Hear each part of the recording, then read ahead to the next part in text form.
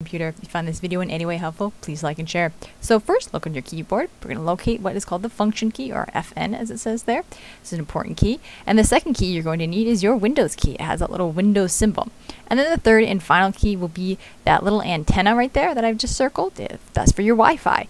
So what you're going to need to do is either hit the function key and the Wi-Fi one, or function Windows Wi-Fi, and that will turn your airplane mode on and off. And you'll know it because it will say airplane mode on or airplane mode off. And that's how you do it.